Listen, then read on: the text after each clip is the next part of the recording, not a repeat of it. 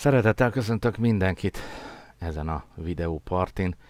Egy olyan online találkozási lehetőség, ez a mai alkalom 2020. március 22-én, amelyben a szakmát képviselők, az asztrológiával foglalkozók, autodidakta módon, vagy iskolában tanulók, önmagukban iskolákat vezetők, és már akár évtizedek óta oktatók az asztrológiában, összekapcsolódhatunk, legalább így a virtuális térben, azért, hogy a világ dolgait, helyzetét, az asztrológiát műveljük, egymás meglátását, megismerhessük, megbeszélhessük, és megélhessük azt, hogy közösen többek vagyunk, mint egyek külön-külön.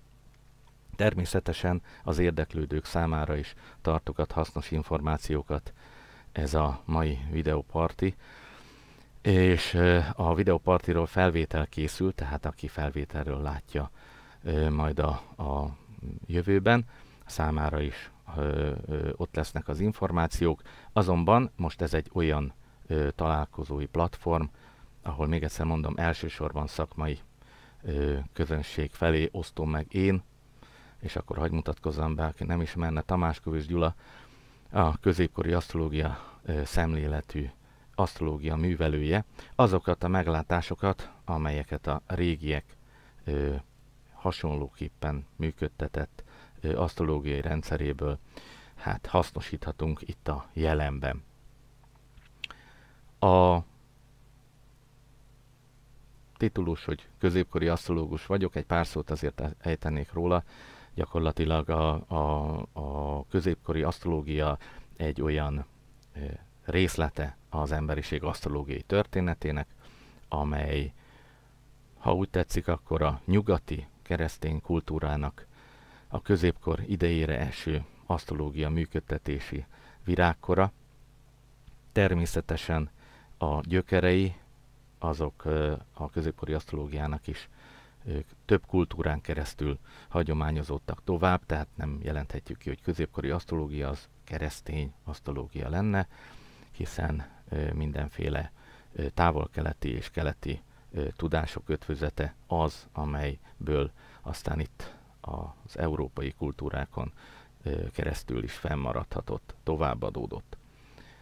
A középkori asztrológia mm, folyamata, mint időben való mm, átadódása, az tehát mindig arról szólt, hogy hivatkozásként valakik régen, és még régebben, és mindig volt még régebben, valakik mondtak valamit, leírtak, és átadták számunkra, és mi, illetve hát a középkor asztrológusai is ezt úgy adták tovább, hogy nem ők találták ki, nem ők mondják, hanem ők is ennek a tudásnak a birtokába kerültek, abbéli kutakodó törekvésükben, hogy próbáljuk már meg rekonstruálni és restaurálni azt az asztrológiai tudást, ami valamikor az ősidőkben teljes volt, és azóta csak folyamatosan kopik és kopik és kopik és csökken, vagy pedig szétszóródik az emberiségben, már úgy, hogy különböző területekre eljutva különböző töredékei maradnak meg az asztrológia teljes tudástárának. Ezeket időről időre jó feltérképezni, csokorba fogni, újra megismerni, összehasonlítani, és törekedni, hogy minél tökéletesebben és az emberiség számára hasznosabban működtethessük tudományunkat. A középkornak is ö, van egy ilyen ö, ö, megkülönböztető szerepe, legalábbis ami a, az európai mm, középkort ö, jelenti. Egy kiemelkedő időszak az asztrológia történetében, az asztrológia restaurációs folyamatokban. Úgy hiszem bátran kijelenthetjük, hogy most is olyan kort élünk, amiben, amiben szükségeltetik a tudás morzsáinak összeadása, közös gyűjtögetése, összehasonlítása és törekvés arra, hogy minél inkább hasznossá tegyük magunkat.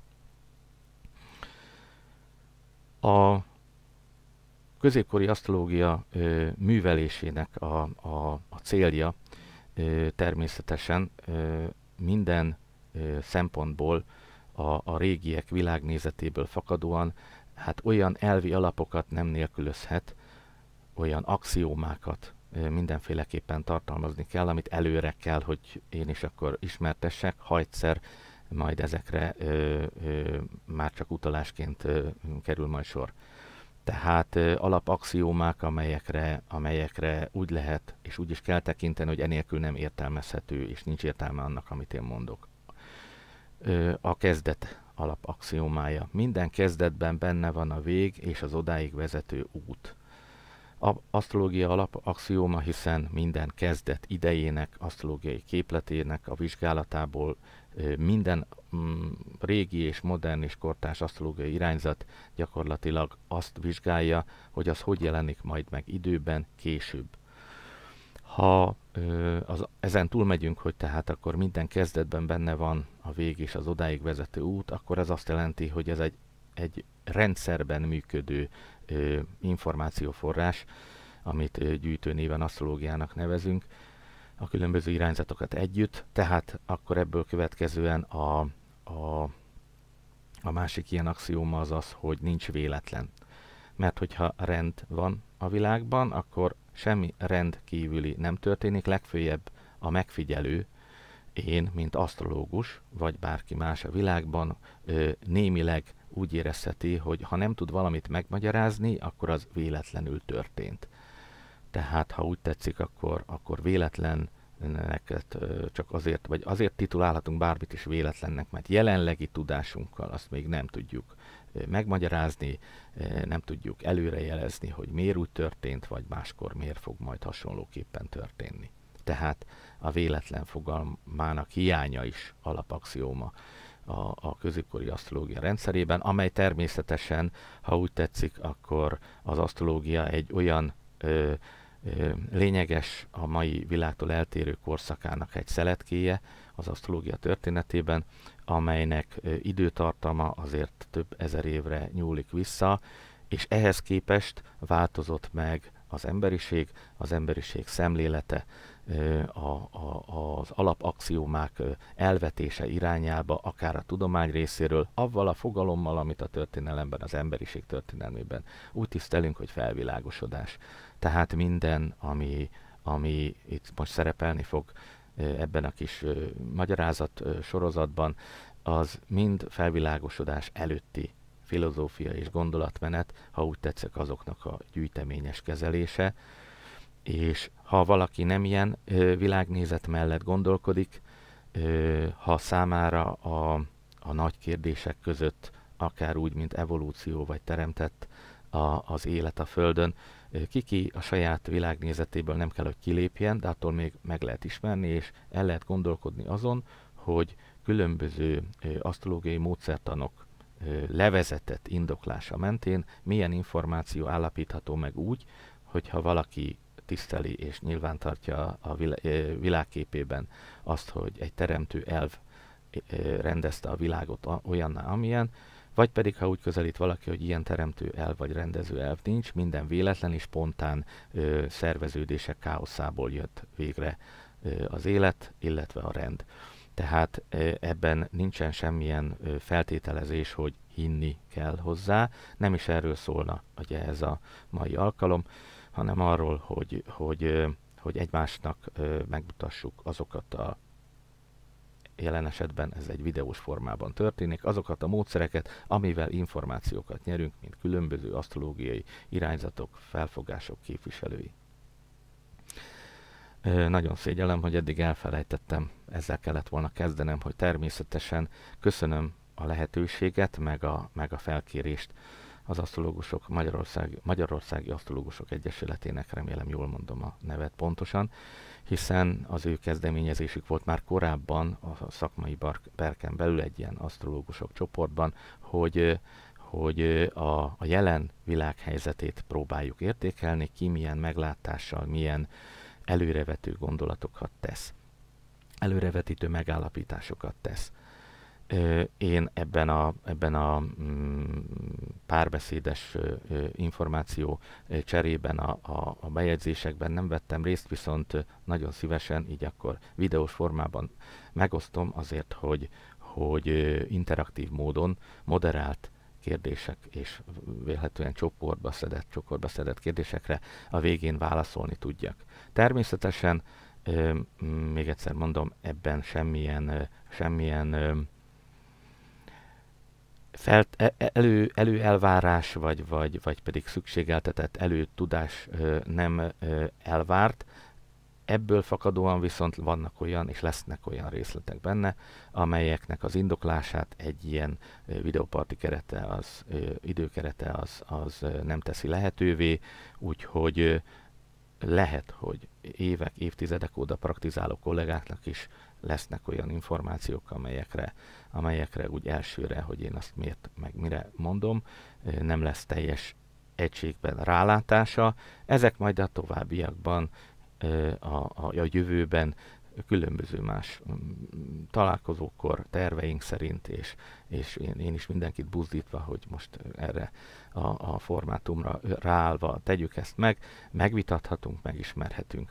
Igyekszem tehát akkor csak a, a leglényegesebb dolgokat megállapítani, illetve megindokolni. A téma. Tehát történeti asztrológia, ahogy a régiek nevezték, és ebben a szóban talán az a, az a leginkább indoka, hogy, hogy ezt a kifejezést, ahogy a régiek is használták, átvegyük. Alapvetően hogyan tapasztaljuk meg mi a dolgainkat, akár a múltbeli dolgokra, hogyha visszaemlékezünk. Emberek, embercsoportok, társadalmak közötti interakciók és azoknak az eredménye, ahogy kihat a társadalmakra és a társadalmakat altott, a, alkotó egyénekre, tehát olyan történések, amelyeket emberek idéznek elő, az emberek ö, ö, interakciójából fakad, és bizonyos dolgokat az emberek ö, terveznek, és annak megfelelően bizonyos időszakoktól sok mindent elvárnak, ettől lesznek bizonyos idők emberfüggően kiemelve a, az idő folyamatos létezéséből. Emberi szempontból kiemelt időpontok.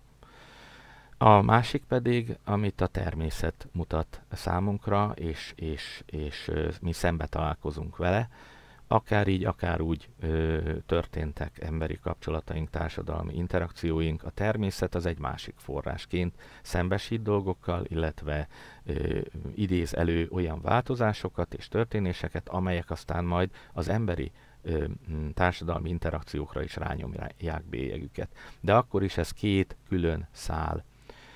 Persze az átfedés az mindig az, ahogy az ember megéli a történéseket. Tehát a természeti okok, természeti tendenciák, amelyek sem nem különíthetők el az említett filozófia mentén. A teremtő gondolatától egy rendezett, teremtett világban következnek be a természet történései is, a természet dolgai is, az emberi történésekre nyomják rá a bélyegüket, és ebből fakadóan a, az emberi történésekben csapódik le a természeti történéseknek a, a, a, a, az eredménye is.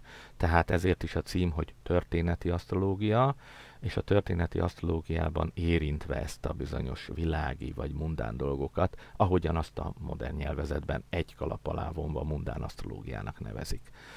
De hát mi itt most ezt megtapasztaljuk a, azokat a történéseket, ami előttünk van, és amit láttunk, ebből kifolyólag nekünk az emberi megközelítésben ö, csúcsosodik ki minden.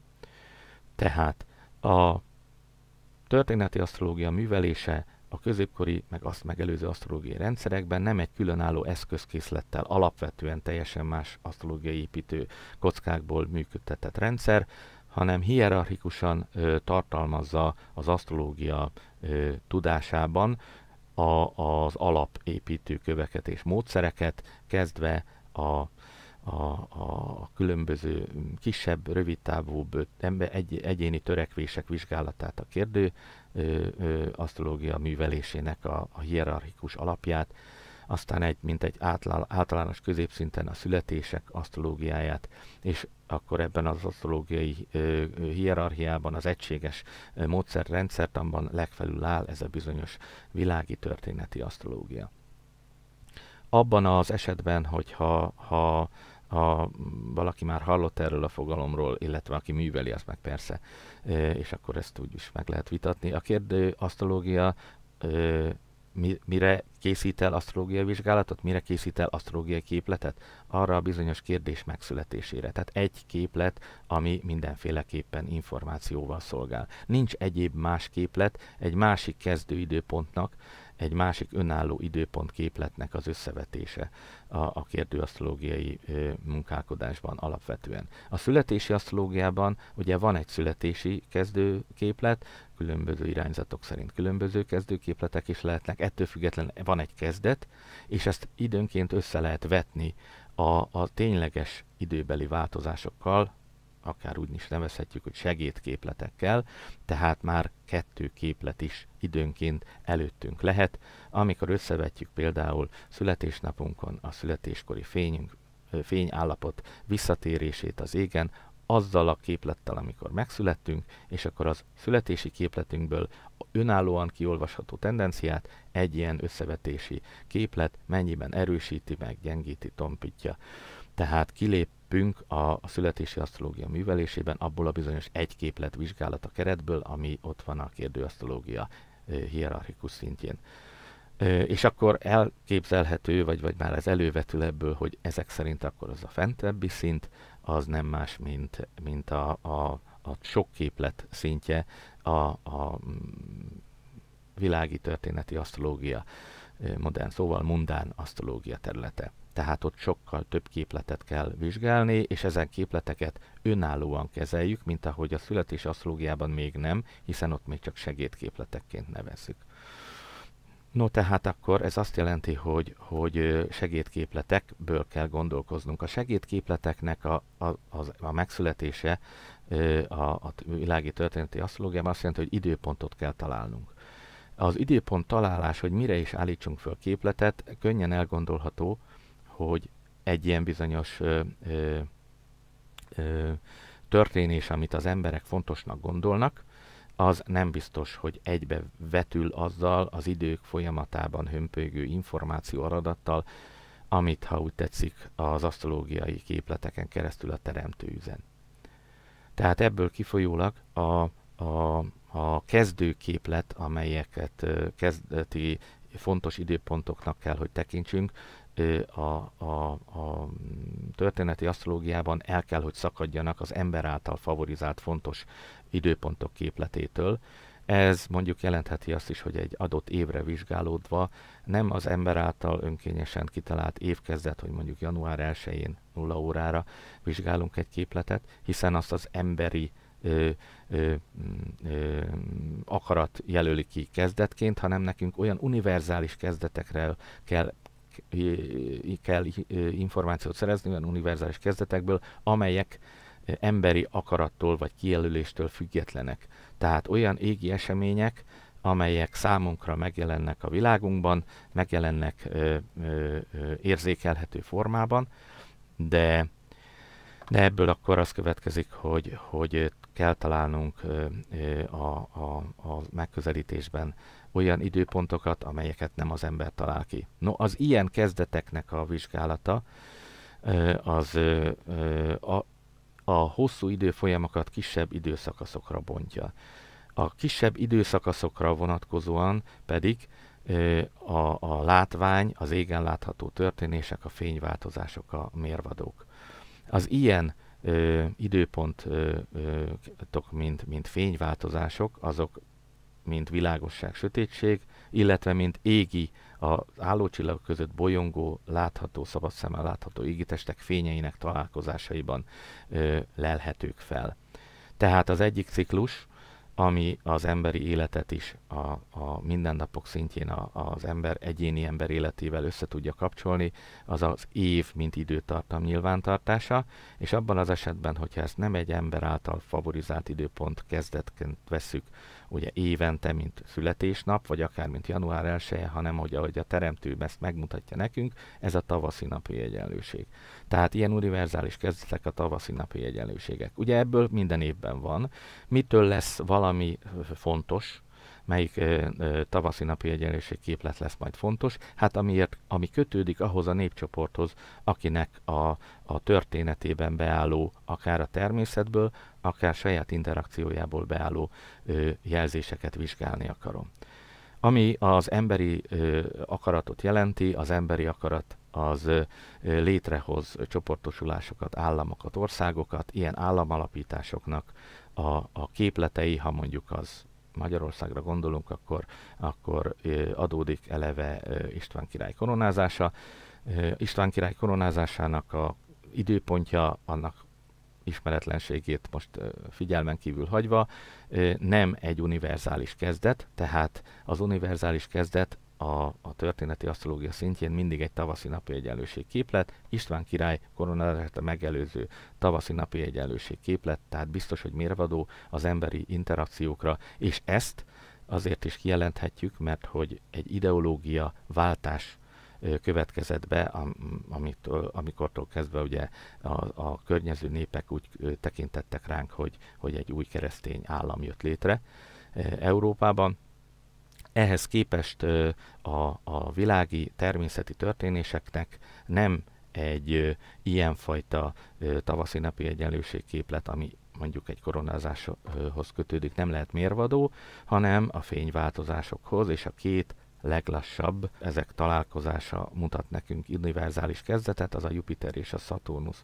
A Jupiter-Saturnus együttállások azonban a középkori asztrológia rendszerében is nem a tényleges fizikai égen látható Jupiter-Saturnus együttállásokat jelenti, hanem ahogyan arra már Kepler is uralt, utalt, a keringési törvényszerűségeikből a két leglassabb égitestnek, szabad szemmel látható égitestnek, a keringési törvényszerűségeiből fakadó szabályos ritmikussága. Ez azt jelenti, hogy körülbelül 20 évente ideálisan a Jupiter-Saturnus együttállások nagyjából egy trigonnal eltolódva jelennek meg a különböző jegyekben. Tehát ez azt jelenti, hogy a mi megközelítésünkben is ezek a bizonyos Jupiter-Saturnus együttállások nem az égi Jupiter-Saturnus együttállásokat fogják jelenteni, hanem a, a szabályos keringések átlagolásából fakadó kiszámított találkozásokat. Ezen kiszámított találkozások időpontjai, azt mondták a régiek, hogy ezek ö, a teremtő üzeneteinek időpontjai, és ezen időpontokra kell nekünk képletet ö, ö, felállítani. Abban a, abban a mm, megközelítésben, hogy az univerzális kezdet egy tavaszi napi egyenlőség, akkor az azt jelenti, hogy egy ilyen ideális Jupiter-Saturnus együttállás időpontját megelőző ö, mm, tavaszi napi egyenlőség lesz majd az az időpont, ö, amelynek képlete mérvadó lesz, arra vonatkozóan, hogy mit üzen a teremtő, a természet, a világ történéseivel, és nem az egyéni, illetve a társadalmak interakciójából fakadóan. No, ennek, a, ennek a, mm, az elvnek a mentén a Jupiter-Saturnus együttállásokat tehát nem nekünk az égen kell keresgélni, hanem ki kell számítani, ennek megvan a külön rendje, és ennek megfelelően egy ilyen Jupiter-Saturnus együttállás, ahogy a képen is látható, az, az miközben végig halad egy ilyen trigon mentén a jegyekben, x évig ugyanolyan elemhez tartozó jegyben ö, ö, mutatja meg a találkozókat 20 évente, ez körülbelül 250 évig ö, ugyanolyan ö, elemben következő Jupiter-Saturnus együttállást jelent, és a négy elem, amely a, az ekliptikán is ugye megjelenik, a tűz, föld, levegő, víz, ilyen sorrendben egymás után következéséből az átlagos 250 évente mm, változó elemváltásokból fakadóan adja azt az időintervallumot, amit mi úgy kezelünk a mindennapjainkban, hogy évezred. Tehát az évezred fogalmában nekünk a legfontosabb az évezredes jelzés. Az évezredes jelzésnek a, a, a kiinduló pontja pedig egy olyan Jupiter-Saturnus együttállás év tavaszi napi egyenlőség képlete, amikor e, ismét tűzelemű jegyben van, durván 250 év után vízelemben tartozó, ta, található Jupiter-Saturnus együttállások tűzelembe kapcsolnak át. No, egy ilyen ö, ö, időpont, ami, ami, ami hozzánk időben legközelebb állt, ilyen tűzelembe váltó Jupiter-Saturnus együttállás, az ö, 1780, vagy igen, 82. Tehát ez akkor a természeti, ha úgy tetszik, világi oldal, a másik pedig a történeti oldal, ezerben István koronázása, államalapítás. Ennek a két képletnek lesz majd akkor ezek szerint szerepe abban, hogy hogyan ö, ö, jelez ö, a, a természet részéről a összevontan mundán asztrológia, illetve hogy hogyan jelez az emberi történések részéről a történeti asztrológia. Először akkor ezt a bizonyos ö, államalapítási képletet, hogyha ha nézzük, akkor, ö, akkor azt találjuk, hogy ö, ezerben március 21-én Greenwich idő szerint 12 órakor, 0 óra 12 perckor volt a, ez a bizonyos tavaszi napi egyenlőség. Budapestre készítendő a képlet, hiszen itt Magyarországon jelenlegi helyzetre vagyunk kíváncsiak, és az a hely, az pedig a mostan, a mai világunkban kijelölődő központi irányító koordinátákra, azaz fővárosra értelmezendő. Teljesen függetlenül attól, hogy most éppen Istvánt hol koronázták meg Székesfehérváron, vagy bárhol. No, ebben a képletben tehát akkor nekünk azt kell tudni, hogy milyen jelzés található a képletben, mikorra vonatkozóan, most 2020-ra.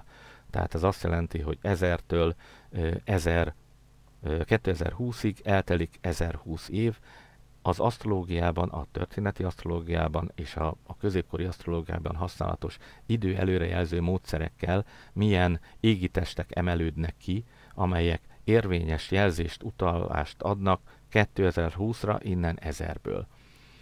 Összekezve a dolgokat, amire felhívódik a figyelmem, és mindenki számára is mutatom, hogy ez a Mars, a Jupiter főként ő az a két égitest a, a leginkább mérvadó 2020-ra, és egyébként folyamatosan ott lebeg a képletben egy olyan égitest, ez a Merkur, amelyik ö, ö, semmilyen másik égitesttel nem kerül klasszikus aspektus kapcsolatba. Ugye ez a klasszikus fogalom, ez azt jelenti, hogy jóval szűkebb a kör a, a, a középkori asztrológiában olyan ívtávolságokra vonatkozóan, amit aspektusnak tekintettek.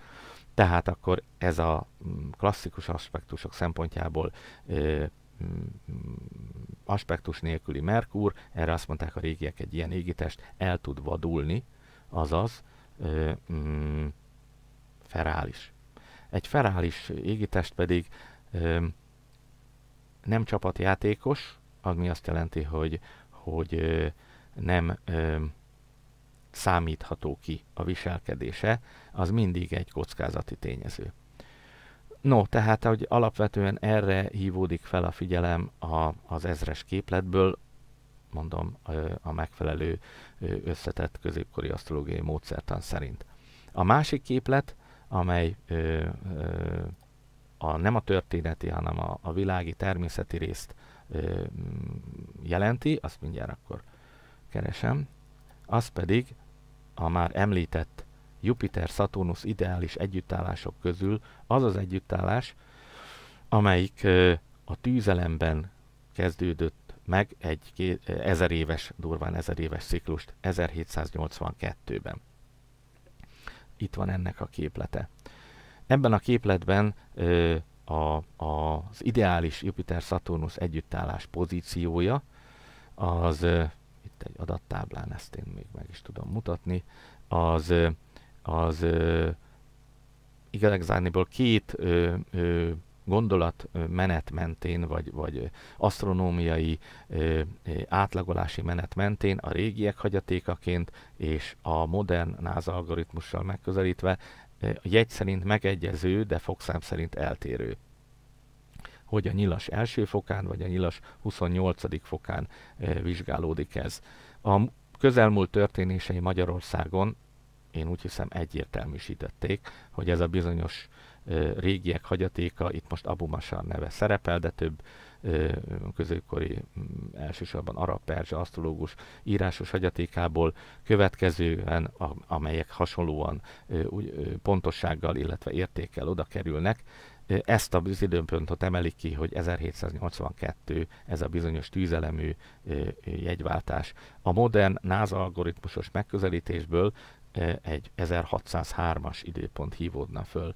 Azért, ha belegondolunk abba, hogy, hogy a nagy ideológiai váltást is jelenti egy ilyen, egy ilyen tűzelembe váltó Jupiter-Saturnus együttállás tavaszi napi egyenlőség képlete, akkor belegondolhatunk, hogy gyakorlatilag ekkor indult valójában a felvilágosodás, amikor az ászlaláját tűzte 84-ben, 1784-ben Kantnak a, a, a, a mondatát, hogy az ember már felnőtt, és úgymond nem szükséges, hogy őt kézenfogva pátyolgassa egy Isten, ha van egyáltalán.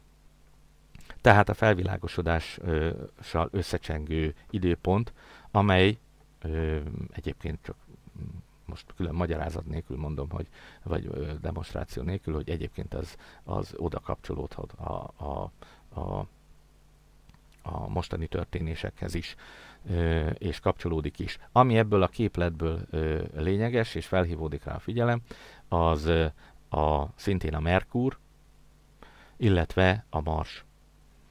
Elsősorban ezek a végitestek ö, szerepelnek mint, mint a, a természeti oldalról kiemelt jelzőtényezők. Egy ilyen természeti képletből is természetesen, ugye a szót használva, azt nézik, hogy 1000 illetve hogy most 2020-ban 1782 óta eltelt éveket figyelembe véve most a képlet mely égitesteket emeli ki a középkori hagyományos előrejelző módszerek időfelosztási szempontjából, melyik égitestekhez rendelődnek azok az idők. 2020 milyen égitestekhez rendelődik alapvetően. És akkor ugye ezek a jelzések a, a, az ezres képletben, illetve itt most 1782-ben is, hát már a színüknél is fogva, ugye itt színkódolva ezekben a képletekben, azt jelenti, hogy nem a saját jegyükben, uralmi jegyükben vannak a kiemelt égitestek, hanem olyan jegyekben, amik saját uralmi jegyükkel szembe vannak, vagy saját exaltációs jegyükkel szembe vannak. Ezek az égitestek, amelyek ilyen opozícióba kerülnek az égi otthonaikkal szembe, nem érzik jól magukat. Ha ők nem érzik jól magukat, akkor valószínűleg azok nem kellemes dolgokat jeleznek a, a, az idők szempontjából, amit megélhet az embercsoport adott időben. A, az előző ezres képletben és itt is a kulcs égitestek azok piros vagy lila színnel azt fejezték ki, hogy bizony ezek, ezek, ezek nem kellemes időszaknak a, a jelölői. Amikor összehasonlítunk egy születési képletet a, a hozzá képest ugye modern asztrológiában használatos szorál revolúciós képlettel például, ugye ott azt is figyelembe kell venni, hogy ahhoz képest, ahogy egy égitest jelzett és úgymond muzsikált a születési képletben, ahhoz képest az aktuális év képletében, mint szolár képletben, vélhetően jobb-e, jobb helyzetbe kerül-e, mint ahogy a születési képletben volt, mert akkor az a születési képletből kiolvasható dolgokat tompítja, ellensúlyozza, lágyítja.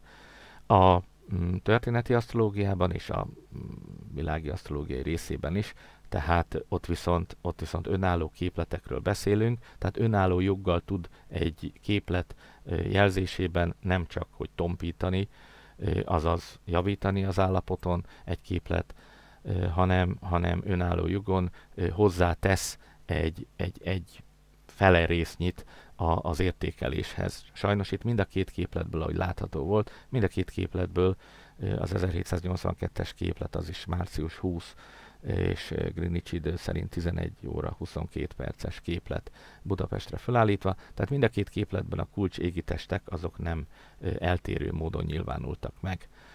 És amit mondtam, hogy ahogy a születési képlethez képest ezt a bizonyos szolár revolúciót, ahogy a modern asztrológia nevezi, vagy a régiek a revolúciónak mondták, a fény visszatérés, kicsit más a megközelítés, de a lényeg ugyanaz egy ilyen, egy ilyen ö, ö, revolúciós ö, ö, megközelítés az, az, ö, az önállóan tesz még hozzá, ha úgy tetszik, egyharmadot az eddig megállapított dolgokhoz.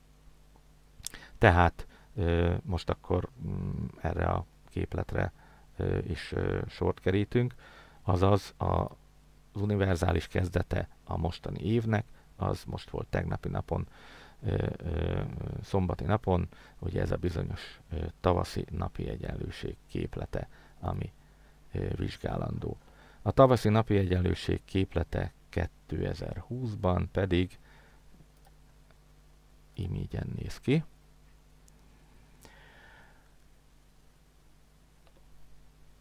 Ez az idő, ez, ez március 20 és 4 óra 49 perc.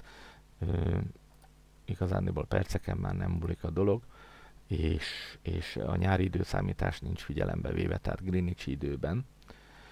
A 2020-as képletre ránézve mi az, ami feltűnik? Hál' Istennek a Mars, ami az előző két képletben vagy lila, vagy viras színnel azt mutatta, hogy nem érzi jól magát, tehát amiatt akkor mi se érezhetjük magunkat. Ez azért itt zöld színben jelenik meg, az azt jelenti, hogy saját exaltációs egyik égi otthon házával szembe levő helyzetben azért a, a, a kedve azért jobb annak az égitestnek, mint az előző két képletben.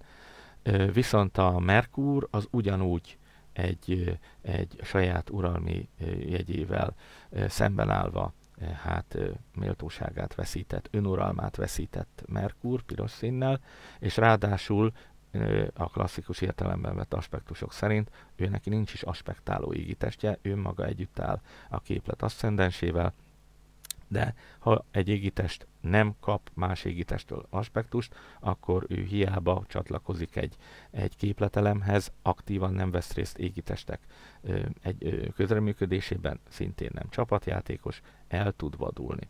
A szerepe pedig nagyon jelentős, hiszen hol van benne az első házban.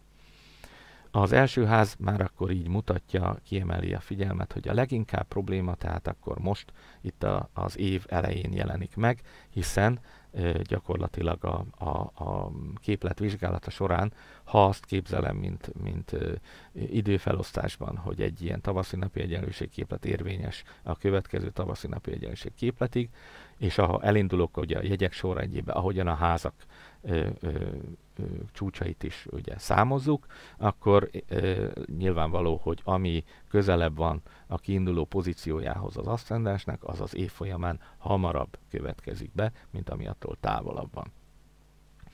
Kifejezetten tudva azt, hogy mi most a helyzet, össze kell vetnünk a, a, ezt a képletet egy, egy segédképlettel, tehát ez most azt jelenti, hogy hogy ennek a bizonyos tavaszi napi egyenlőség képletnek, mint hogy megszületett az új év, a, a nem ember által eldöntött időpontban, hanem ahogy a természetben a fényviszonyok a teremtő üzen általa. Szóval, hogy ehhez a képlethez képest van egy segédképlet, ehhez némi alapinformáció, hogy a, a születési asztrológiát műveléséhez is úgy áll a középkori asztrológia, hogy annak a bizonyos ö, születésnek a kezdő pillanata az nem egy, egy, egy ö, szabad szemmel látható esemény, ö, és ebből kifolyólag a fizikai születéshez képest van egy másik ö, képlet, amelyikből mm, dolgoznunk kell a születési asztrológia művelésénél, és ez a kiinduló képlet, ez nem más, mint a, a születést megelőző, jelen esetben a mundán asztrológiában a tavaszi napi egyenlőséget megelőző újhold vagy telihold képlete, ami legközelebb áll hozzá. Ezen ö, képletnek a vizsgálatához egy másik ö, ö, képletábra, de ugyanebbre a 2020-as ö, tavaszi napi egyenlőségre vonatkoztatva ö, egy olyan ábra, amit egy másik ö, program generál, viszont ebben a programban meg tudom mutatni azt, hogy mi az a bizonyos ö, ö, holdfázis, ami közvetlenül a tavaszi napi egyenlőség előtt volt. És ez a bizonyos holdfázis egy teli hold, és ez volt március 9-én. Miért lényeges ennek a teliholdnak a, az időpontja? Mert hogy ez a telihold adja a még fizikailag nem tapasztalható kezdetét az évnek, amit majd ad a fizikai tapasztalható kezdetet a tavaszi napi egyenlőség március 22-én, illetve március 20-án, bocsánat, hajnalban, tehát a két képlet együtt adja meg az igazi kezdetet. Azt mondták a régiek, hogy ha egy ilyen kezdetben akár a, a nem fizikai kezdetben, aztán a fizikai kezdetben is ö, olyan égitestekhez kapcsolódik, vagy olyan égitestek kapcsolódnak az aszcendenshez, meg magához ehhez a bizonyos holdhoz, ami a fényváltozást elszenvedi, amelyek nem előrevívők és nem szerencsés égitestek, azaz a két klasszikus égitest szempontjából ez a Saturnus és a Mars, amiket így nevez a középkori asztrológia, hogy ártó égitestek. Ha ezen ártó égitestek itt megjelennek, akkor arra hívják fel a figyelmet, hogy az egészség az abban az évben veszélyeztetett, és ez a veszély, ez pedig sorozatos tud lenni, vagy pedig e, áramló, erre mondjuk a modern szóhasználattal járvány. Na most akkor, ha vizsgáljuk a, azt, hogy mi mivel kerül kapcsolatban, akkor így erre a Mars szimbólumba kattintva látszik, hogy a Mars, mint átóigitest a holddal kapcsolatba kerül, a körök a hatóköreit jelenti az égitesteknek. Átfedés van a holddal a Marsnak, illetve átfedése van a Saturnusnak mind a holddal, mind a Marssal. Ezekben a képletekben azt tud ellensúlyozni, meg mi azt szeretnénk látni, hogy ezek a jó tevőigi testek, amely viszont a Vénusz meg a Jupiter, ők megjelennek szintén kapcsolódva, vagy többet kapcsolódnak, mint a, az ártóégi testek. A Jupiter megjelenik a Holdhoz kapcsolódva, de az aszcendenshez nem, és az említett Vénusz, mint másik jótevőégi test egyik pontunkhoz se kapcsolódik. Tehát itt nincs ellentételezve az ártók jelenléte, erre mondták a régek, hogy járvány.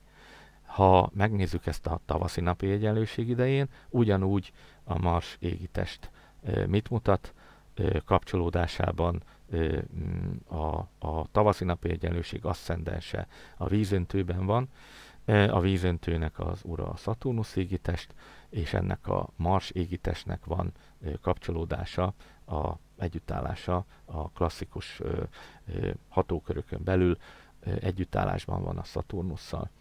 A Holdal nincs kapcsolata a Marsnak, hál' Istennek. Mi a helyzet a Saturnusszal? A Saturnus viszont nem kapcsolódik sem az aszcendenshez, sem a Holdhoz.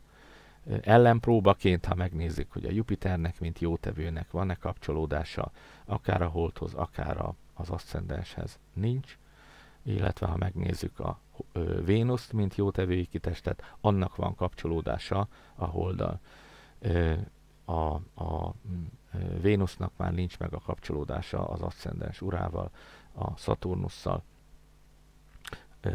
meg magával az aszcendenssel sem. Tehát itt is azt tapasztalható, hogy több jellemzőbb a dominanciája az ártóégi testeknek, a, az egészségbe való belenyúlásba, mint az egészséget megőrző, a járványt visszatartó jótevőégi testeknek. Ebben a, ebben a mm, helyzetben alapvető kérdés volt mindig a régieknél is, hogy ha már egyszer járvány, akkor mi a helyzet a, a, az életveszély helyzettel, a halálos áldozatok való számolás szempontjából mit is mutat a képlet. Először megnézve a, az újhold, illetve a telihold képletét, azt tapasztaljuk, hogy a, a, az első ház ura, a házcsúcs ura, a mérlegjegyén keresztül az aszcendens ura egy Vénusz, a Vénusz pedig egyben a nyolcadik házcsúcsnak, ami minden ö, ö, szintű asztrológia művelésnél kapcsolatot jelent a félelemmel, halál félelemmel, illetve magával a halállal. Tehát, hogy a halálozás témája megjelenik ebben az évben, hiszen ugyanaz az égi test az ura az aszcendensnek, meg a nyolcadik ház csúcsának is. Ha klasszikus, vagy tehát középkori módszerekben gondolkozunk, akkor ott szerepel egy olyan, hogy bizonyos égitestek több szinten uralnak egy ekliptikai pozíciót, több szinten uralkodva lehet, hogy nagyobb jelentőséggel ural egy égitest egy fokot, mint a jegynek a jegyura. Hát ez a helyzet itt az aszcendensnél, mert a jegy uránál, a Vénusznál erősebb ura az aszcendens fokának a Saturnus. Akkor hát, ha a Saturnus mentesül attól, hogy a nyolcadik házcsúcs urával a Vénusszal kapcsolódjon, és akkor kiderül, hogy nem, van kapcsolat közte, tehát megjelenik a járványban a halál. Akkor ilyenkor kontra vizsgálat, hogy és mennyiben a nagyobb jelentősége a halálozásnak van a járványban, vagy pedig a betegség a nagyobb tényező a járványban, és akkor ahhoz képest csökken a jelentősége a halálozásnak. Ezt a területet, mint a járvány esetében a betegség, azt, ahogy a, a születési asztrológiában a hatodik ház képviseli. Most meg kell néznünk, hogy akkor a hatodik ház csúcsának van-e kapcsolata ezzel a bizonyos mm, aszcendens úrral. A hatodik ház csúcsnak az ura, ugye a hatodik ház csúcsa a, a halak jegyében van, a Jupiter, és a Jupiternek ö, van-e kapcsolódása a, a, az aszcendens jegyurával, a Vénusszal? Nincs. Van-e az aszcendensnek ebben a kiemelkedő méltóságú, több szinten uralkodó Szaturnuszával? Van, és van még ráadásul ennek a Jupiternek kapcsolódása a Holdal. A hold az minden értelemben jelenti a tömeget, a, a, az ország lakóit.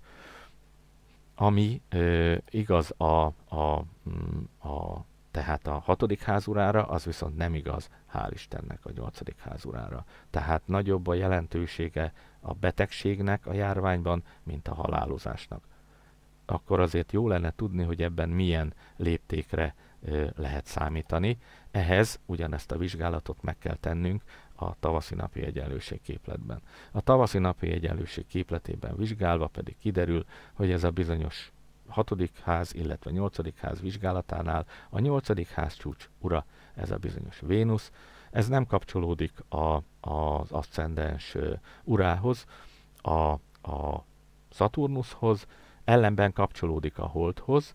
Itt érdemes megnézni, hogy a Holdnak a hatókörén belül mennyire eltolódik a hatókör középpontjától a kisebb hatókör, a nyolcadik ház urának, a Vénusznak a hatóköre. Ez azt jelenti, hogy az exakt aspektustól, ami e, itt egy kvadrát éppen, milyen tág pozícióban található a nyolcadik ház kapcsolódása a néphez, az ország lakóihoz. Nézzük meg a kontravizsgálatot, mi a helyzet a hatodik ház csúcsurával. A hatodik ház csúcsura pedig a nap. Akkor a napnak a kapcsolatát, ha vizsgálom, kapcsolódik-e a, a, a néphez, hát itt csak érintőleges ez a kapcsolat, viszont az első ház az aszcendens urával a, a, a, az alkotott aspektusa az majdnem exakt, hiszen a Saturnus ott van az utolsó fokán a vakjegyének, a nap pedig hát tavaszi napi egyenlőség lévén a kos első fokába. Látszik is, hogy a nap ö, hatókörén belül a Saturnusnak ez a barna színű kisebb köre szinte koncentrikus, tehát ez majdnem exakt.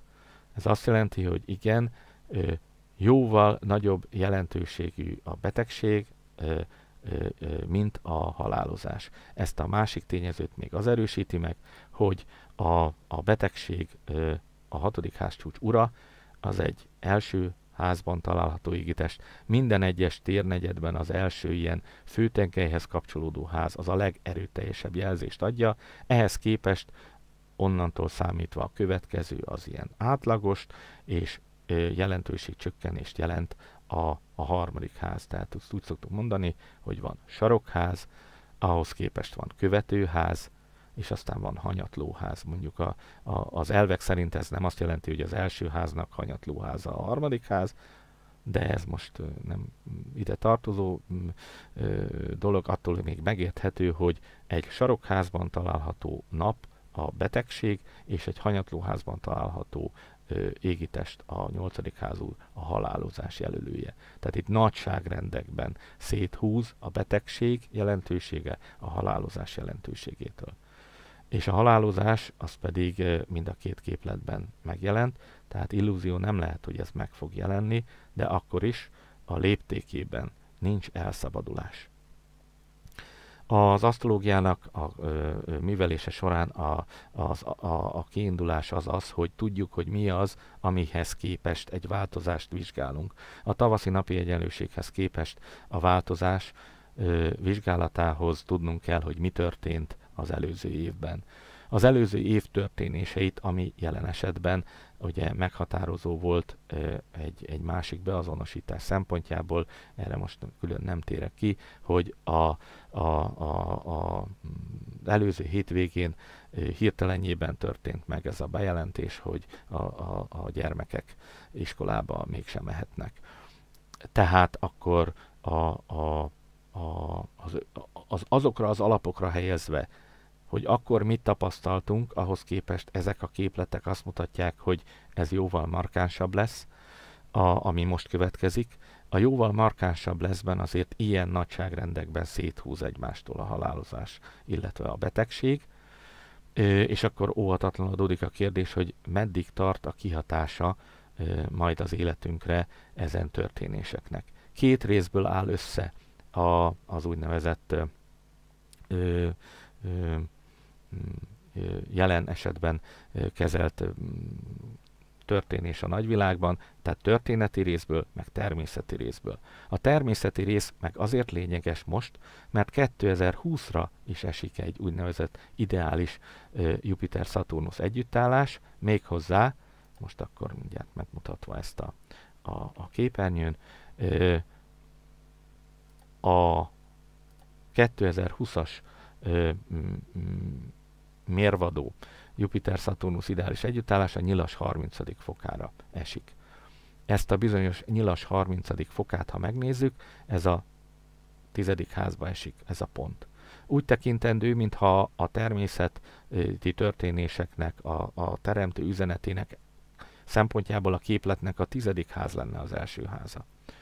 A középkori asztrológiai módszertant alkalmazva pedig a házakban az év folyamán körbe tudunk lépkedni, hiszen ez egy évre vonatkozik, akkor olyan, mintha egy ház egy hónap lenne. Tehát, ha a természeti dolgokat akarjuk vizsgálni, a tizedik háztól kell léptetni időben egy hónap, egy ház ö, hasonlattal, ha pedig a történésekre, akkor az elsőtől. Először nézzük a természeti részt, mert ugye járványról van szó. Ha a kiindulásunk ez a bizonyos tizedik ház csúcs, mert ide esik az ideális Jupiter-Saturnus együttállás, akkor itt van az évkezdet. Ahhoz képest csak így hozzávetőlegesen számolgatva, ugye ha ez itt március 20, akkor az április, május, június, július és augusztus. Az augusztusi jelzésben találunk olyat, amikor tisztán megjelenik egy, egy jótevő égitest, abban a házban találunk egy olyan jelzést, tisztán egy, egy jótevő égitest, és, és amely a saját égi otthonában van, jól érzi magát, ura önmagának. Tehát még egyszer, március, április, május, június, július, akkor ez már itt a júliushoz képest már az augusztus. Tehát mire a, a, a betegség lecseng, az ott július vége, augusztus, ez az egészség szempontjából, a teremtő üzenete által előállt természeti következmény a társadalmi interakciókban. A társadalmi interakciókban mi a helyzet, akkor ott nem a tizedik házból, mint az ideális Jupiter-Saturnus együttállás által ö, ö, most feltételezett első házból kell gondolkoznunk, hanem a képletnek a saját első házából, és akkor ebből következően, ha vizsgálódunk, akkor azt tapasztaljuk, hogy ha az aszcendens az a március vége, március, április, május, június, július, augusztus, és augusztusra, akár szeptembert is már akkor látjuk, augusztus 20, szeptember 20 közötti időszakban egy olyan égítés lesz mérvadó a házakra, a vizsgált házakra vonatkozóan a nap, ami ö, szintén zöld színben jelenik meg. Ez azért azt jelenti, hogy akkora tud az élet ö, normalizálódni. Ez a normalizálódás persze azt jelenti, hogy fellélegzés, hiszen nem a saját jegyuralmában van ez a nap, hanem a kosjegyében, az exaltációjában. Tehát az a, az, a, az a rendeződés megkezdődik. Egyébként, ha önmagában azt mondom, hogy az egész életre vonatkozóan az első ház, mint minden asztrológiai vizsgálatban az első ház az életet jelenti, akkor az élet ebben az egy évben a Merkurtól jut el, a romló Merkurtól ehhez az úgynevezett középkori terminológia javuló ö, napig. Tehát, hogy, hogy igencsak eltart a, a normalizálódása az életnek, a, a, a tavaszi napjegyenségű induló évnek a második felébe jelenik ez meg. Tehát akkor a, a, a, a, a történéseket összevetve a tapasztalatokat összevetve azzal, amit a képletek mutatnak, akkor ez a fajta folyamat is ö, még nem szabad, hogy túlértékeljük egy exaltációban levő égitest, az pont azt hordozhatja, hogy valami túl van értékelve. Valamint ez, a, a, a, tehát hogy a visszarendeződés még nem teljes természetesen. Ez valószínűleg túlnyúlik azon, hogy, hogy minden az emberi kapcsolatokban, az emberiség és abban magyar nép szempontjából úgy érződik, hogy helyreállt minden, az átnyúlik ezen az éven.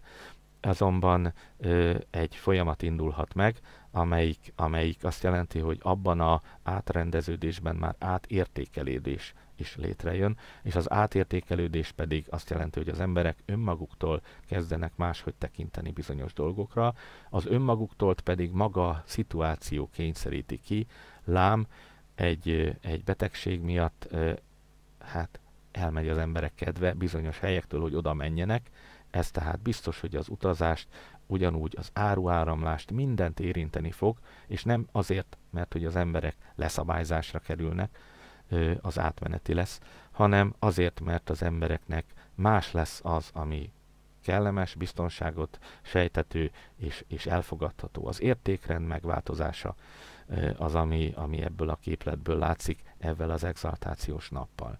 Hagy tegyem hozzá zárásként pedig azt, hogy a, a, a történeti asztrológiában nagyobb időintervallumokban különböző léptékeket megkülönböztető módszerek vannak. Van egy úgynevezett 360 éves periódus, amely országtól, néptől függetlenül az egész földi létező emberiségre vonatkozik.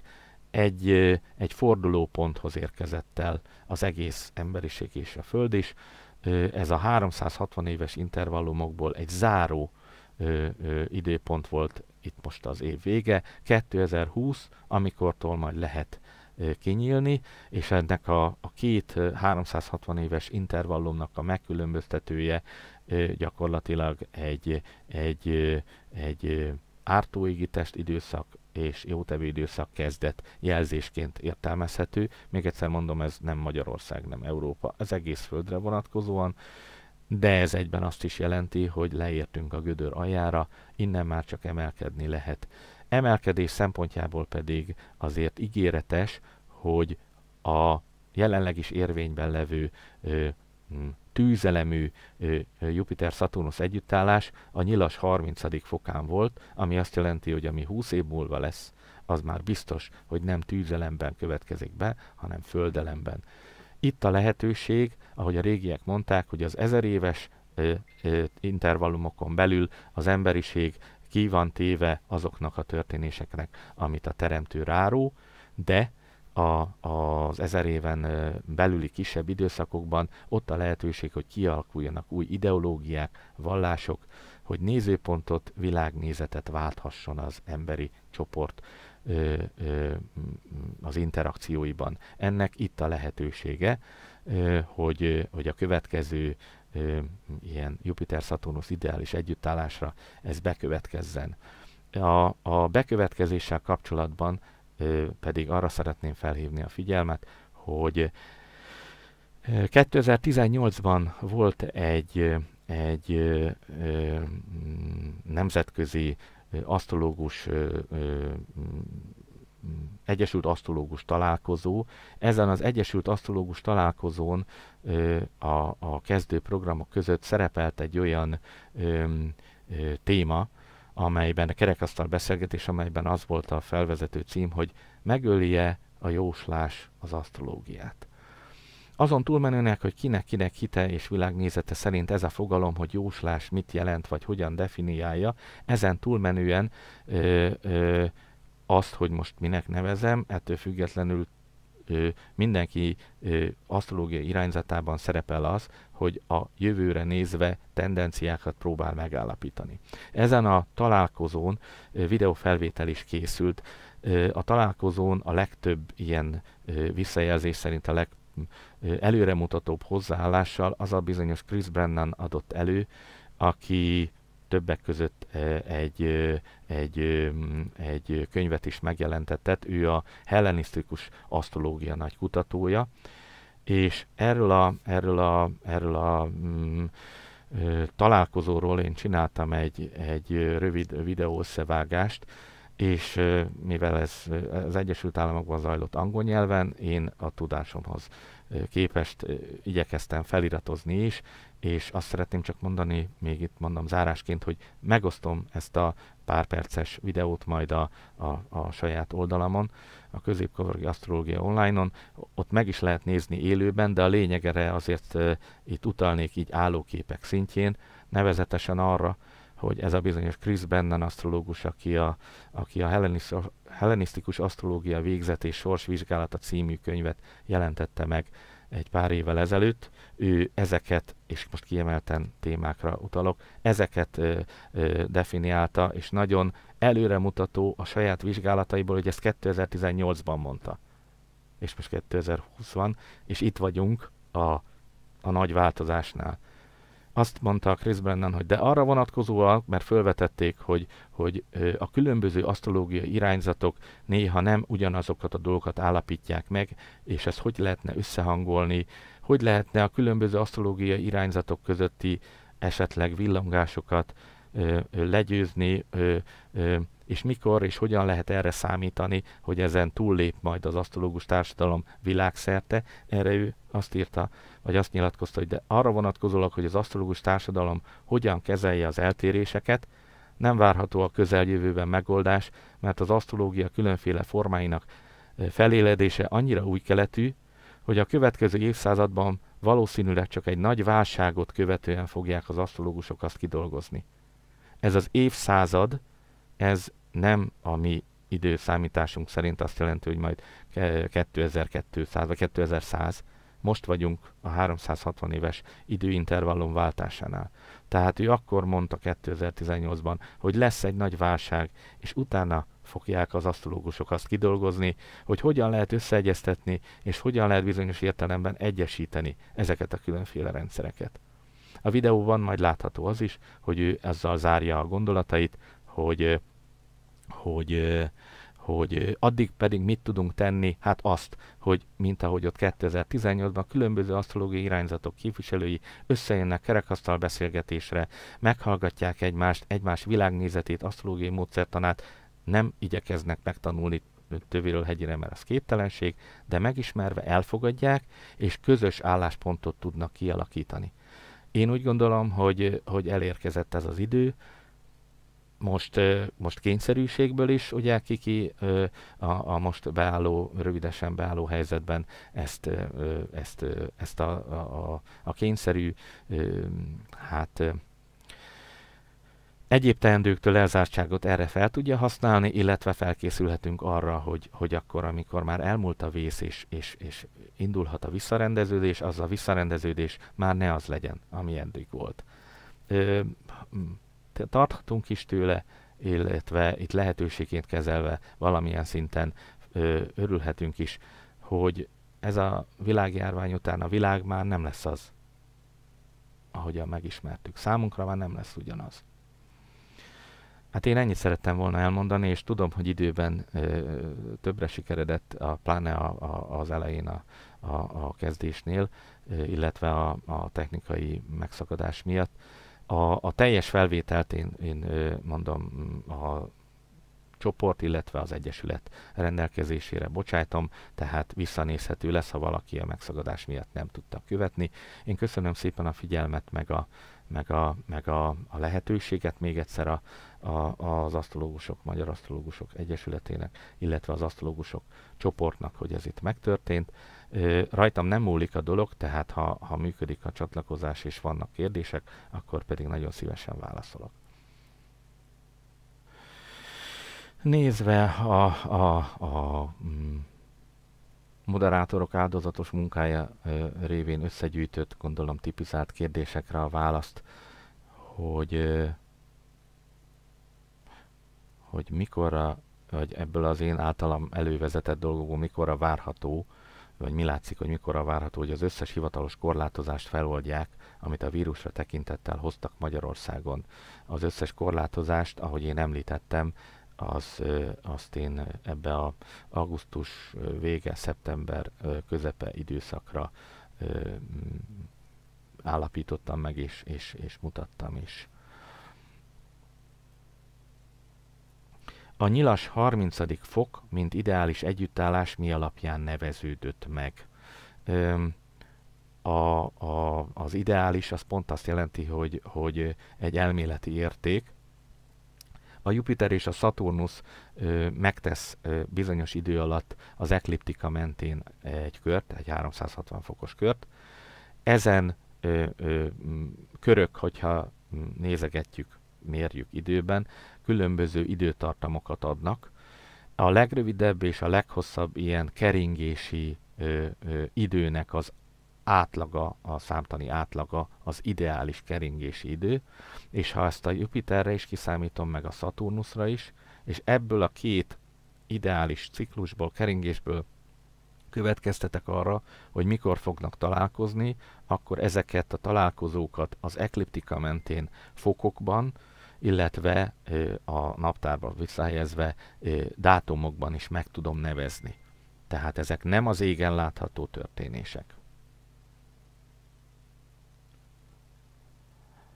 Érkezett a kérdés, hogy, hogy december 16-án a BAK 30. foknál van ebben az évben az együttállás. Lehetséges, de nekünk ami, a, ami, a, ami az elv a, a születési asztrológiában is, hogy az igazi kezdet, ami, ami két tényező összekapcsolódása egy ember születése esetén is nem látható, a középkori asztrológia terminológiája szerint a lélek és a test összekapcsolódása egy halálig tartó időtartamra. Ugyanúgy az égen nem látható az ideális Jupiter-Saturnus együttállások, amelyek a tényleges kezdetet adják. Ezt csak rekonstruálni tudjuk abból, hogy az ideák mentén minden tökéletes, és akkor az átlagból a tökéletesre tudunk következtetni, és ami a tervben benne van, mint egy, egy építési tervben is, hogy ami a tervben benne van, aztán az, az nem valósul meg tökéletesre, Sőt, mindenféle, mindenféle terv, bármilyen műszaki terv is eleve úgy készül, hogy benne van egy tűréstartomány, hogy tólig méretben elfogadható egy elkészített tárgy, berendezés, híd, bármi. Az a lényeg, hogy a tűréstartományon belül legyen. De a tűréstartománynak a, az átlagában, a felében benne van.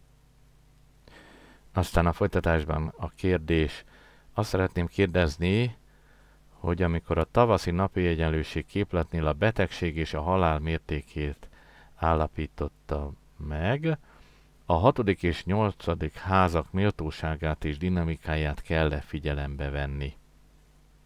A hatodik ház az oroszlánban kezdődik, tehát, tehát a nap méltóság szerint exaltált kardinális jegyben utalhat-e arra, hogy sok megbetegedés hirtelen következik be, a nyolcadik ház esetében pedig az uralmi Vénusz szilárd jegyben még több haláleset, és hosszan a járvány idejét végkísérő jelenség a sok haláleset. E, remélem sikerült érthetően fogalmazni. Nos, ugye akkor a, a, a képernyő most megjelenik megint ez a tavaszi napi egyenlőség képlet. Valóban igaz, hogy a hatodik házura, ugye a, a az oroszlánban kezdődő hatodik ház csúcsának az ura a nap. Ez a nap exaltációjában van. A nyolcadik ház csúcsura a, a mérlegben van, ennek ura a Vénusz. A két házat képviselő, két úr házbeli elhelyezkedése, azaz jelentősége, ha úgy tetszik, erőviszonylata határozza meg azt, hogy mi a nagyobb jelentőségű. A, a a, a hatodik ház, mint, mint betegség téma nagyobb jelentőségű, mint a nyolcadik ház, a halálozások.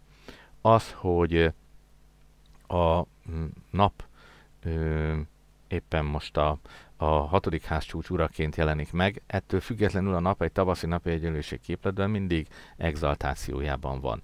Tehát akkor ennek mentén is azért érezhető, hogy itt nem a, a a javulások és a méltóságok döntik el azt, hogy melyik téma, a hatodik ház vagy nyolcadik ház az, ami majd nagyobb hangsúlyjal szerepel.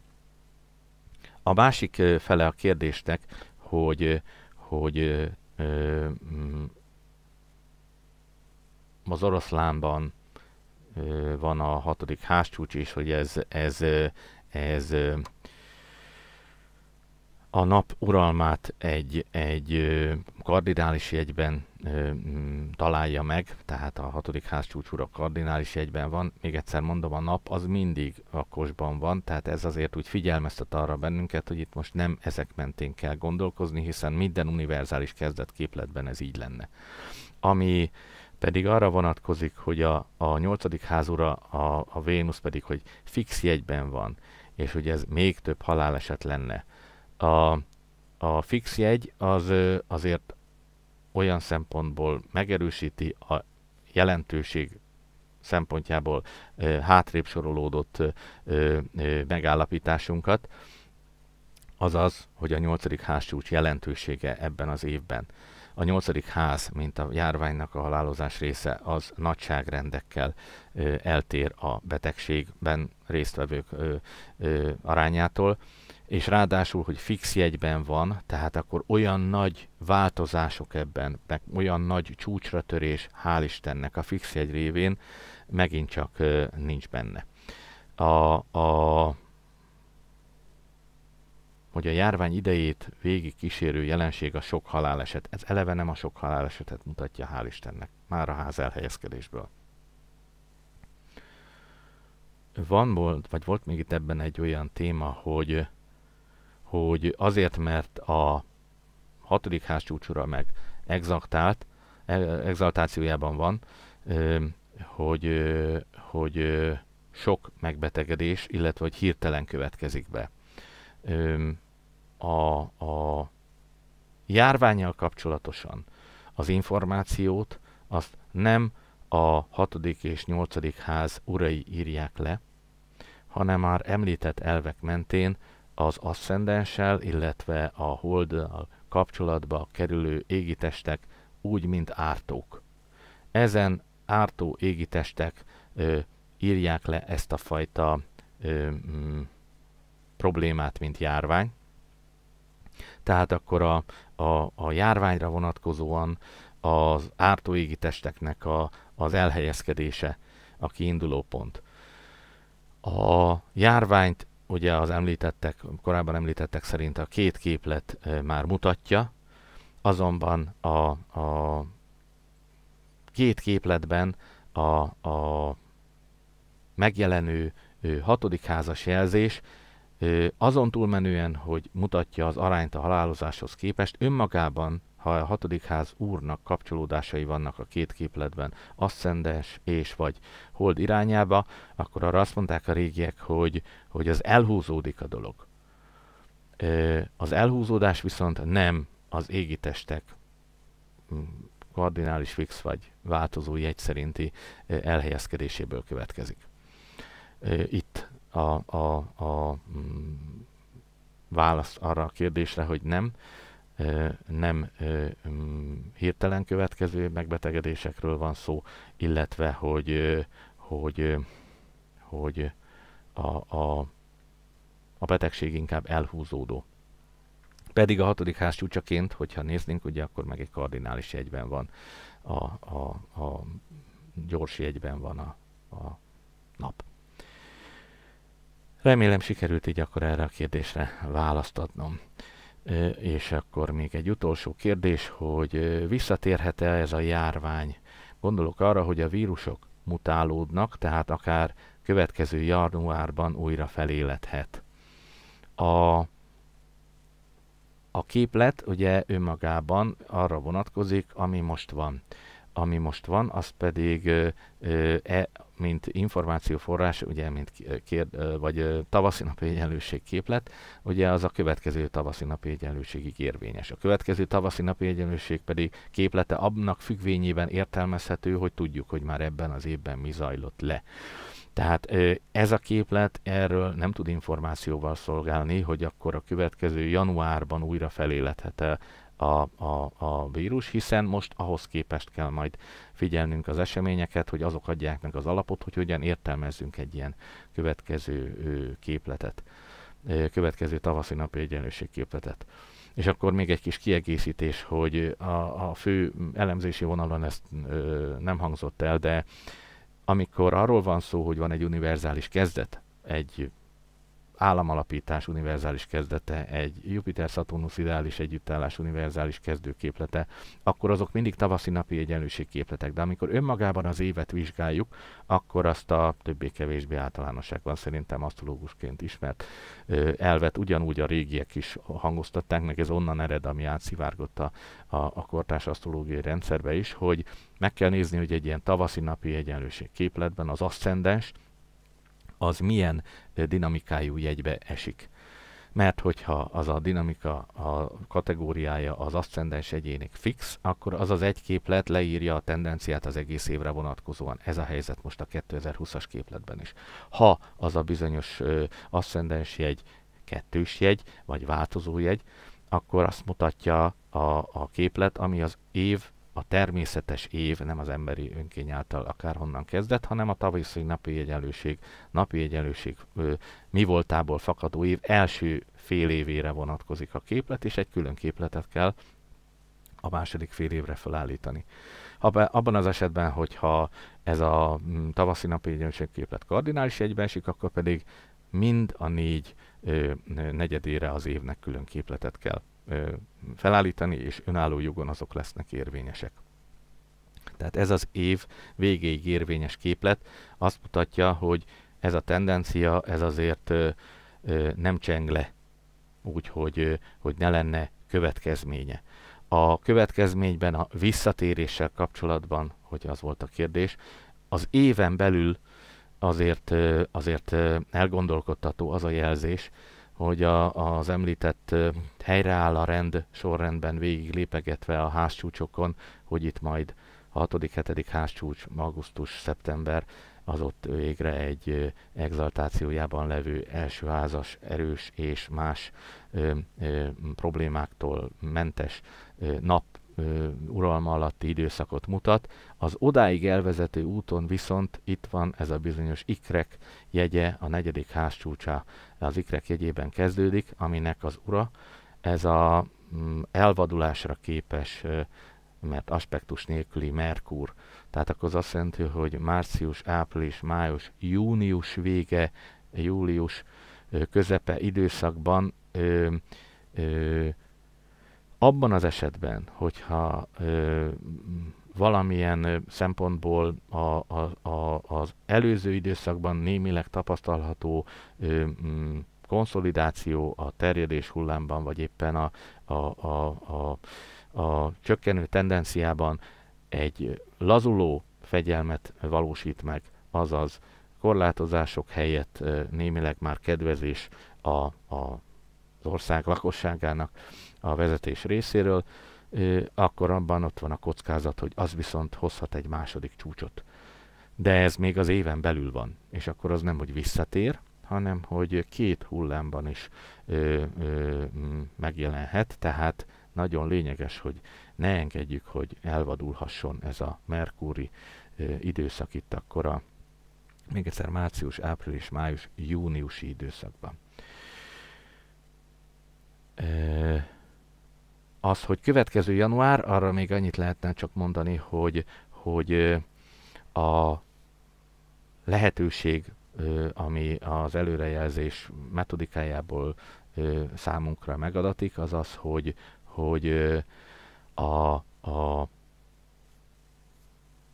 ciklusokat, a, a, Jupiter-Saturnus ideális együttállásokat önmagukban is kezeljük.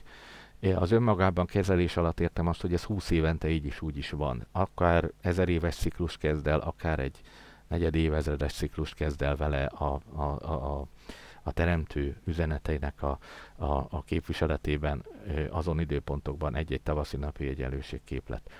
De ez 20 évente is jelez, és akkor itt benne van ebben a jelen képletben a már említett ideális Jupiter-Saturnus együttállás, és akkor ez a következő időszakig fennáll, tehát az azt jelenti, hogy 2040-ig. E, ez a képlet olyan szempontból érvényes 2040-ig is.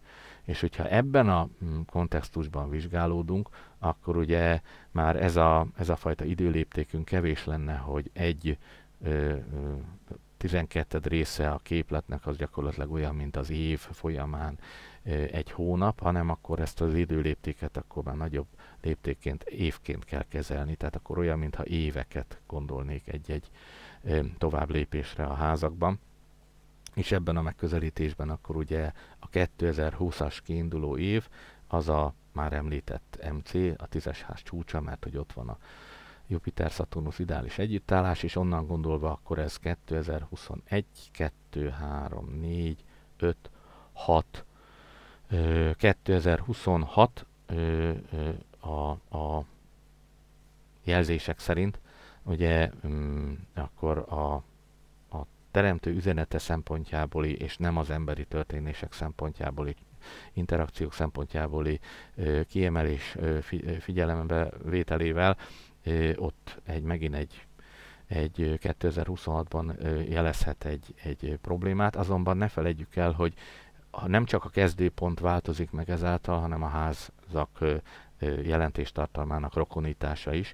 Tehát ha a tízes ház az első ház, akkor az egy, kettő, három, ez a negyedik házban van, és a negyedik házhoz képest még ötödik, hatodik ház a magában a, a képletben, mint Jupiter-Saturnus ideális együttállás képlet értelmezés a tavaszi napi egyenlőség képleten belül. A hatodik házban ott egy jótevő Vénusz található, és annak a háznak az uraként. Tehát akkor úgy alapból arra 20 évre előre azért nem azt mutatja, hogy, hogy, hogy a, a betegség majd, majd, majd olyan mm, szinten problémát tudna jelenteni, mint ami most van ha pedig azt mondom, hogy kifejezetten a, a, a legkritikusabb időszakokat nézem, akkor az a, az a Merkur által uralt 2026, az pedig nem a, a, a, a betegség házhoz, a hatodik házhoz kötődik. Se nem ura, még csak aspektusban sincs vele, úgyhogy ha, ha valami is ö, problémát jelent, a, a, abban a következő 20 évben, akkor az most nem egy ugyanolyan szintű járvány lesz.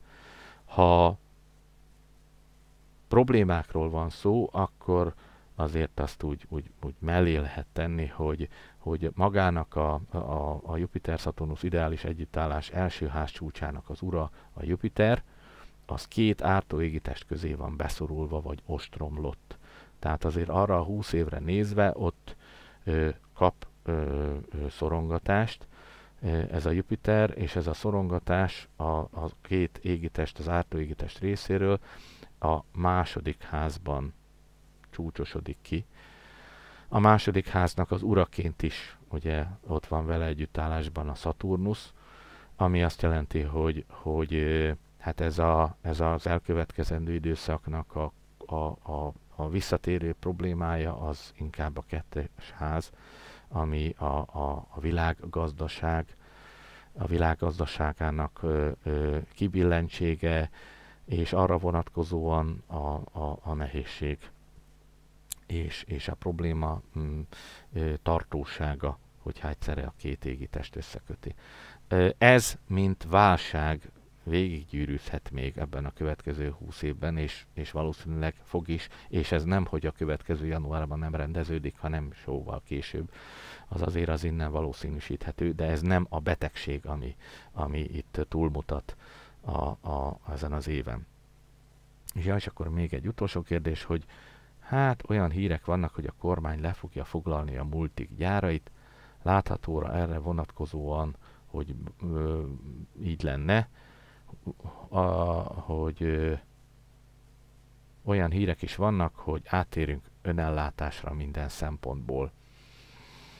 Ö, na most az önellátás az azt jelenteni, hogy megszűnnek a külkapcsolatok. Ö, nincsen külkereskedelem, csak belső termelésre van átállás. A külkapcsolatokra vonatkozóan úgy, mint a születés asztrológiában a másik fél, akivel én, én, én